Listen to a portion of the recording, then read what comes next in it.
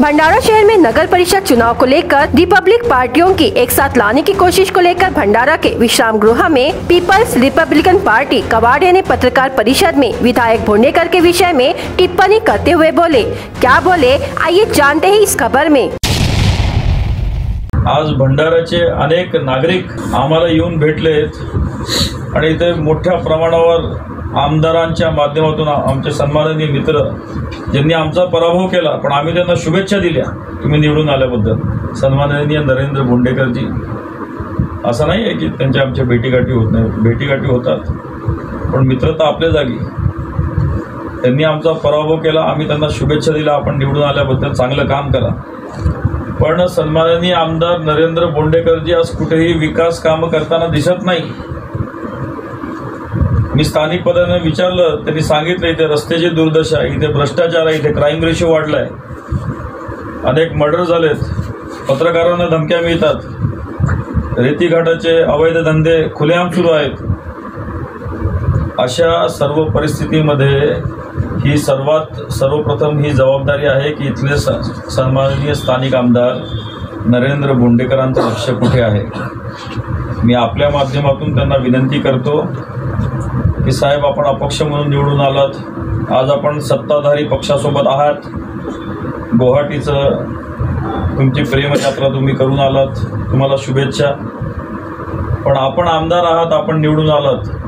लोकांच्या भरोश्यावर आपण निवडून आला आहात. ही आपली जबाबदारी आहे.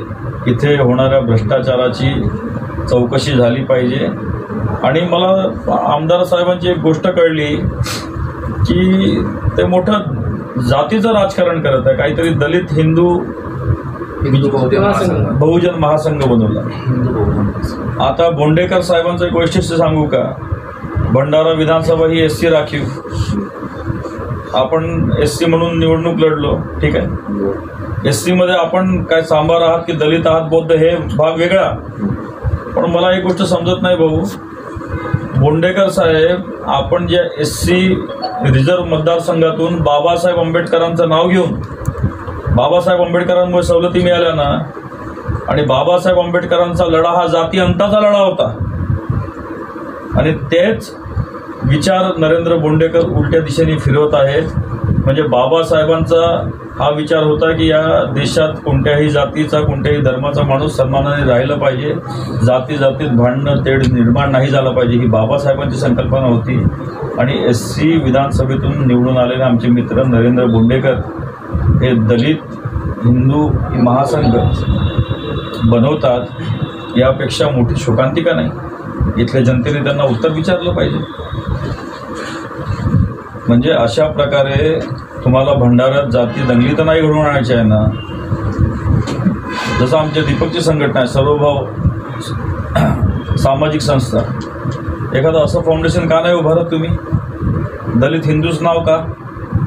म्हणजे मताचं जे घाणेरडं राजकारण तुम्हाला करायचं आहे हे आता भंडाऱ्याच्या लक्षात जनतेच्या लक्षात आलेलं आहे. मी आपल्या माध्यमातून कधी आमदार साहेब भेटले तर त्यांना विचारा की हे जो नंगानाच या भंडारा विधानसभेच्या आतमध्ये जो सुरू आहे हा कधी थांबणार आहे?